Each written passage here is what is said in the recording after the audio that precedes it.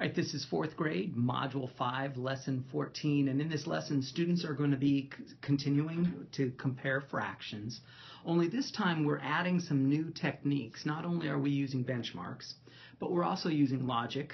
Uh, we're also going to be using common denominators or common units. Um, we're also not only going to be talking about common denominators, but we're also adding the technique of common numerators, which are just as helpful as common denominators. So let's get started on that. So this problem, it doesn't say so specifically, but this is really talking about common numerators. The idea being, it says, would you rather have two fourths or two sixths, for example? And the idea is we want students to recognize that if we were to have the same sized whole and we were to cut this into fourths and we were to cut this into sixths, we can see that when you cut things into a larger denominator, larger unit sizes, uh, that the sizes themselves, I mean, a larger number of units, that the sizes themselves become smaller. So sixths are smaller than fourths because you cut it into more pieces, so the pieces become smaller. So the idea becomes well, would you rather have two large pieces or two small pieces? And that's the kind of logic that students are going to use when they're comparing fractions that, in like in this case, they have the same number of numerators, the same numerator.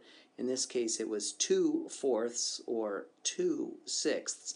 And then you can reason um, the comparison based on the size of the denominators, uh, you know, the size of the individualized pieces. Similarly, here you got 5 eighths, you've got 5 tenths. So which fraction is going to have this, the larger individual sized pieces? Well, the eighths are going to be larger than the tenths because our whole number is cut into eight pieces versus 10 pieces. So would you rather have 5 eighths or 5 tenths? And of course the answer is 5 eighths is going to be larger than 5 tenths. So that's the idea of this series of problems. Now here we're going to take that same idea and we're going to just make it a little bit more mathematical. Uh, when we can straight up compare, we're going to do so. So 3 sixths versus 3 sevenths. Well, we know 3 sixths are larger than 3 sevenths because sixths each individual sixth is a little bit larger than each individual seventh. And that's how we're going to compare. Same kind of concept uh, down here. We're able to compare 3 elevenths with 3 thirteenths right off the bat. And we can immediately see that 3 elevenths is larger than 3 thirteenths. Now, these guys over here, we're going to do a little bit of um, math mathematizing, I suppose, because we don't have any common numerators. We have 5 sevenths and 10 thirteenths. But if we take that 5 sevenths and we can chop it up into seven equal sized pieces one, two, three, four, five, six, seven. Um, and then if we take, and then shade in five of them. So one, two, three, four, five. But then, here's the cool thing if we cut each of those pieces in half,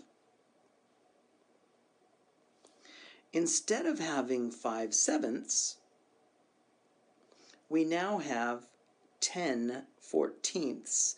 And that really makes sense because we know that 5 times 2 is 10 and 7 times 2 is 14.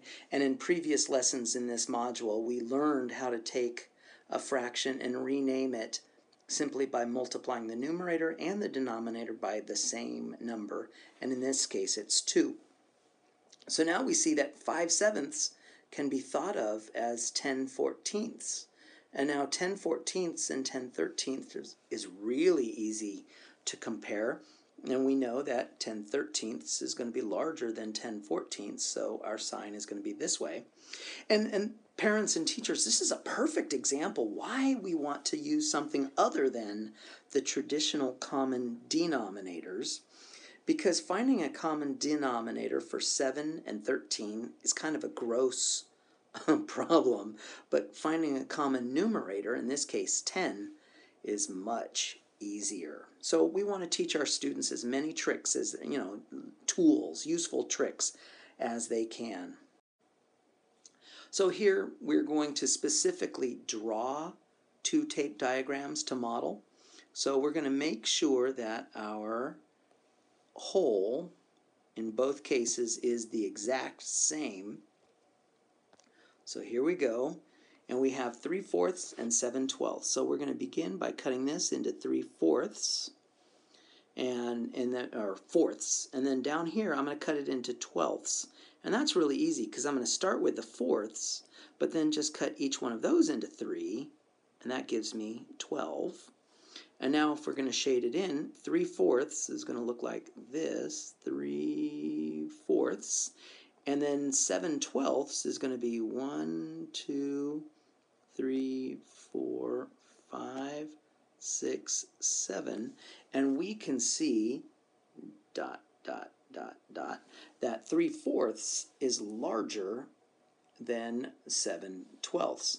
Now, uh, draw two tape diagrams, model each pair of the following fractions with related denominators. So the idea is um, if we wanted to figure out how to get common denominators, well, we could, let's see, I'm going to use, oh, I'll use the black, and then we could take these fourths and we can cut each one of these into pieces.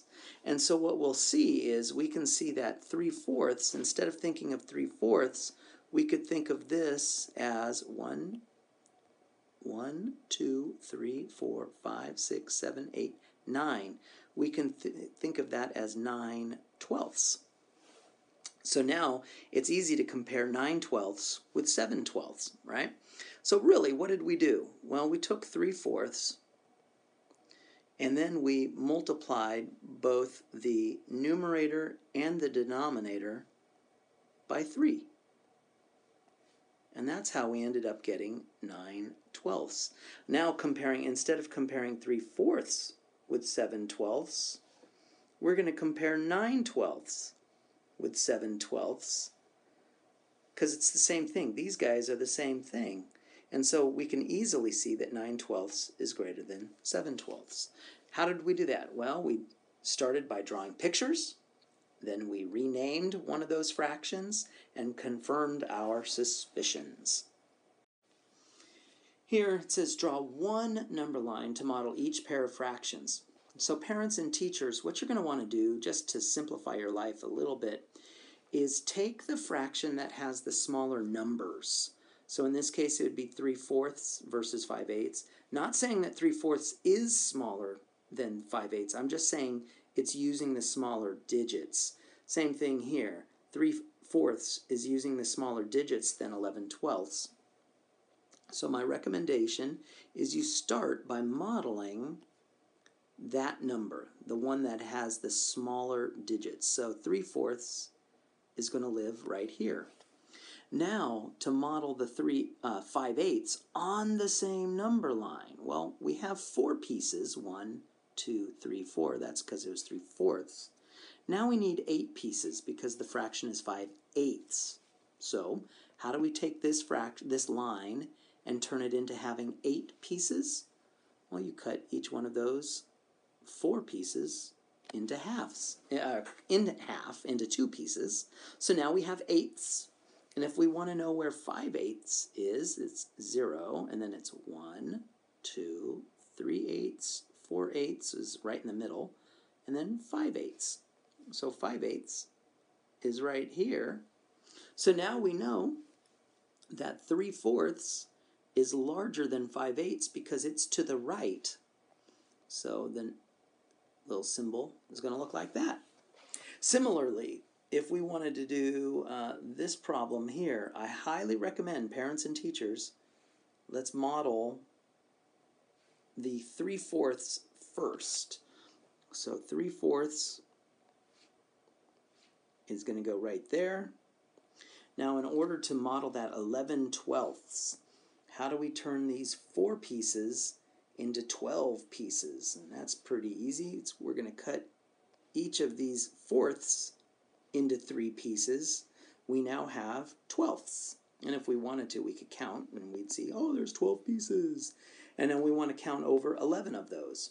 So you start here at zero and you go one, two, three elevenths, no, three twelfths, I mean, four, five, six twelfths, that's right in the middle, seven, eight, nine, ten, eleven twelfths. So 11 twelfths is right there. And now we know that 11 twelfths is larger than 3 fourths because it's to the right of 3 fourths. So, so far, none of this is really using that standard algorithm of getting a common denominator, but it's leading us to that point. Where here, we get to use common denominators if we want. For example, I really see this is an easy one. I see that seven, the denominators are 7 and 14, and it's really easy to take a 7 and turn that into a denominator of 14 by multiplying both the numerator and the denominator by 2. So now you get 10 fourteenths. So really, instead of thinking of this as 5 sevenths, we can think of it as we can think of it as 10 fourteenths. So now it's really easy to compare 11 fourteenths with 10 fourteenths because we know that 11 fourteenths is clearly bigger than 10 fourteenths. And that means 11 fourteenths is larger than 5 sevenths because they're the same. 5 sevenths and 10 fourteenths are the same thing. So that's the idea of this series of problems here is now we're just going to use all of our tricks, all of the tools that our students have been taught, and they can use either common denominators, this is another example of a good one for common denominators. Or they can use common numerators, uh, like this one is a common numerators because you already have them. Um, or you could just use plain old logic here. One seventh is smaller than two sevenths because of plain old logic. Um, of course, if students want, they can continue using that number line and they can graph everything on the number line as well.